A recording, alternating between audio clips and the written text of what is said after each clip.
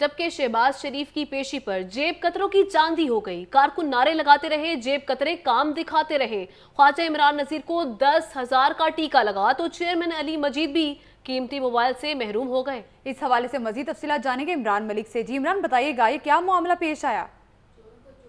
آج صاحب عدالت میں میاں محمد شباز شریف کی پیشی تھی اور اس موقع پر تمام جتنے بھی جالے تھے وہ وہاں پہ پہنچے، جس میں بلدیاتی نمائندے اور خاص طور پہ مسلم لیگ نون کے جنرل سیکرٹری خواجہ عمران نظیر بھی وہاں پر پہنچے اور قائد کا استقبال کرنے کے لیے انہوں نے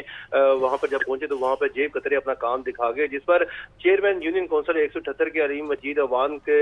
کا جو ایس نائن موبائل تھا وہ چوری ہو گیا اور ان کی جیب کاٹی گئی۔ اسی طرح خواجہ عمران نظیر جی، کی بھی جیب کاٹ گئی اور دس ہزار پیج ان کی جیب سے غائب ہو گئے۔ ان کا کہنا یہ تھا کہ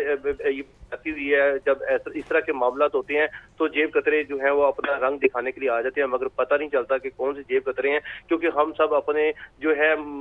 اپنے لیڈر کے لیے وہاں پہ کٹھے ہوئے تھے اور وہاں پر ان کا استقبال کر رہے تھے اور اس درمیان میں کسی کا بھی ایک دفعہ بھی ہمیں علم بھی نہیں آیا کہ ہماری جیب کٹی گئی ہے۔ جب ہم اپنی گاڑی میں بیٹھے تو